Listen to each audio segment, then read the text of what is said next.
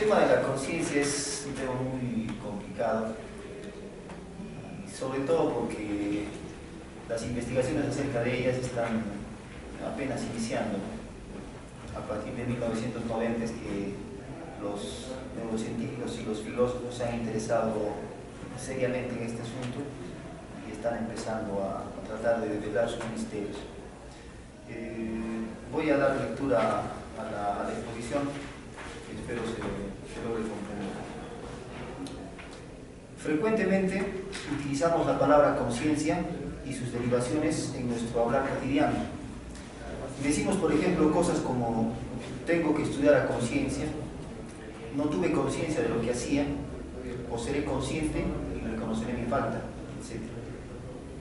Al hablar así, parece que la conciencia o experiencia consciente nos es muy familiar y que la entendemos perfectamente. El asunto se complica, claro, cuando se intenta abordar su estudio académicamente, puesto que a pesar de los grandes avances alcanzados en su conocimiento, sobre todo a partir de 1990, todavía escapa de una comprensión total. Antes de exponer, por cierto, muy básicamente los logros que se han conseguido en el estudio de la conciencia, consideramos necesario tratar de comprender la dimensión del problema que neurocientíficos y filósofos de la mente, a veces trabajando juntos, han emprendido con entusiasmo a fin de develar el misterio de un fenómeno humano tan complejo. El primer problema, por cierto muy filosófico, es asumir una determinada posición ontológica y nociológica.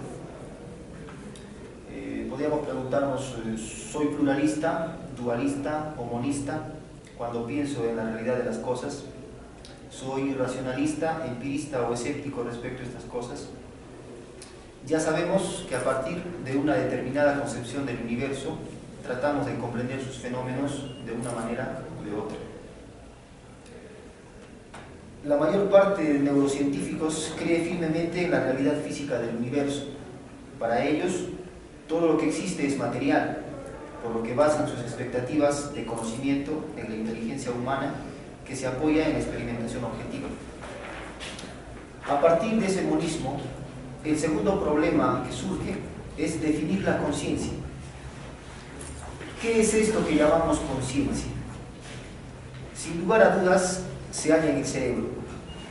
Pero aceptando esto, tenemos que enfrentarnos con el tercer problema. ¿Está en una parte de él? ¿Ocupa todo el encéfalo? ¿O se encuentra en distintas zonas de manera fragmentada?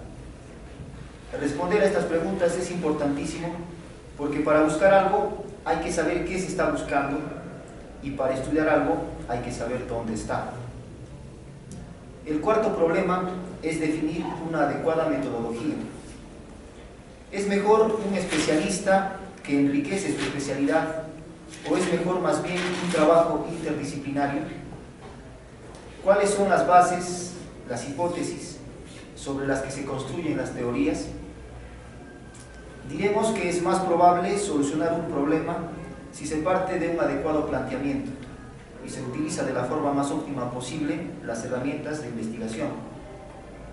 Como dijera Atocha en el 2011, la conciencia es un problema tanto de índole filosófico como empírico y por ello exige herramientas metodológicas tanto conceptuales como de investigación experimental, las mismas que deben actuar de manera coordinada.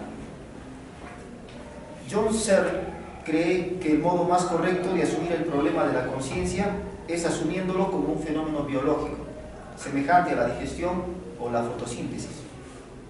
Y por los avances alcanzados en neurociencia, se ha demostrado que el trabajo en equipo, la cooperación de los diversos puntos de vista científicos, es el mejor posible para investigar la conciencia. Aquí creemos ver resumidos tres pasos que se hacen necesarios en relación a los cuatro problemas que mencionamos más arriba. El ser de la conciencia es biológica, o sea, física y material. Por tanto, es posible conocerla mientras sigamos una metodología interdisciplinar. Y aunque definir la conciencia sea hartamente complicado, podemos conformarnos, por ahora, con la definición propuesta por el mismo ser en términos de sentido común. La conciencia consiste en estados y procesos internos, cualitativos y subjetivos de sensación o alerta. John Searle nos va a decir que la conciencia, así definida, comienza cuando nos despertamos en la mañana, después de no haber tenido sueños, y continúa hasta que nos quedamos dormidos nuevamente, morimos, entramos en coma o de alguna otra manera nos volvemos inconscientes. Incluye todo, desde sentir dolor hasta percibir objetos visualmente, estados de ansiedad y depresión, resolver crucigramas, jugar ajedrez, tratar de recordar algún número, discutir sobre política o simplemente desear ser alguien más. Los sueños, bajo esta definición, son también formas de conciencia. Pero la conciencia, el fenómeno consciente, parece ser que escapa de un simple reduccionismo fisicalista.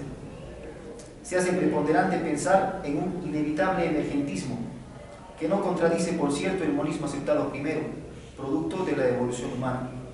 Entonces, la pregunta que inquieta, y con razón, a los investigadores de la conciencia es, ¿cómo es que los procesos cerebrales causan estados conscientes?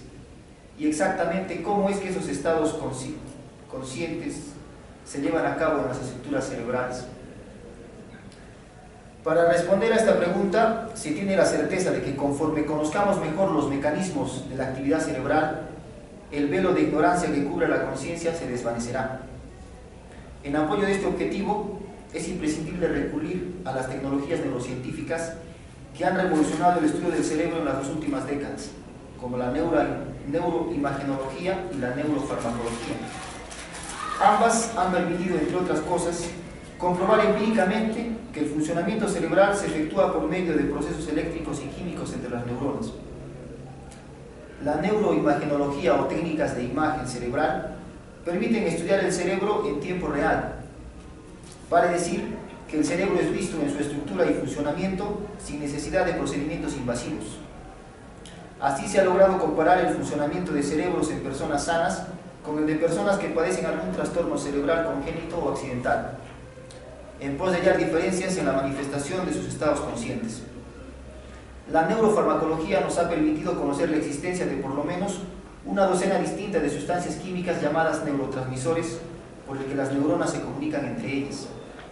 Este hecho ha dejado en claro que son las sustancias químicas las que dan origen a nuestros estados mentales y es por tanto muy posible que nuestra conciencia sea el resultado de la interacción de estos neurotransmisores. Otra tecnología con la que se viene trabajando es el electroencefalograma, que permite registrar los impulsos eléctricos o señales eléctricas de las neuronas conocidas como ondas cerebrales. Esta técnica fue utilizada por el neurocientífico Rodolfo Ginás en sus investigaciones, sugiriendo que la conciencia es originada por señales eléctricas ubicadas en el sistema de conexiones tálamo-corticales.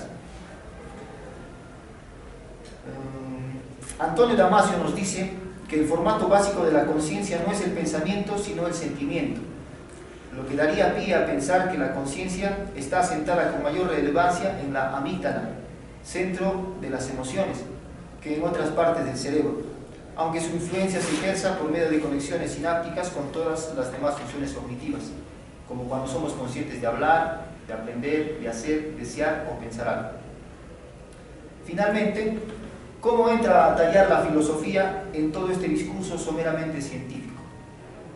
La filosofía, en cuanto es capaz de reflexionar sobre evidencias empíricas, en cuanto teoriza sobre las teorías científicas, en cuanto asume su rigor teórico de la mano con la experimentación rigurosa, se hace imprescindible para dirigir provechosamente las investigaciones neurocientíficas. Una manera muy clara y también moderna en la que se aprecia la participación de la filosofía en el estudio neurocientífico de la conciencia es la creación de una nueva disciplina denominada neuroética, que surge como fundamento vital de suma urgencia frente al peligro de parecer posible el proyecto de manipular la conducta humana mediante la activación y desactivación artificial de determinados centros cerebrales. El filósofo David Chalmers ha propuesto que existen dos tipos de problemas en el estudio de la conciencia, el problema fácil y el problema difícil. El fácil es al que nos hemos referido a lo largo de esta exposición, es decir, al estudio de la conciencia a partir del procesamiento de información. El problema difícil es el referido al estado de autoconciencia como también al de subjetividad, propio de cada individuo, que se puede ilustrar en la pregunta. ¿Cómo es posible que las personas, poseyendo el mismo cerebro, podamos ser tan diferentes respecto a gustos, pensamientos, conductas o emociones. Definitivamente, a la filosofía le queda mucho por decir y aportar en el estudio de la conciencia, pero será útil siempre y cuando asuma con seriedad las evidencias empíricas y parta de ellas para configurar teorías imaginativas que permitan a los científicos seguir avanzando en comprender la naturaleza humana que se nos muestra ahora a través de la manifestación de la conciencia, que según parece, por el momento, es el resultado de la interacción de vastas redes neuronales que efectúan procesos electroquímicos bajo infinitas conexiones en el interior del cráneo. Muchas gracias.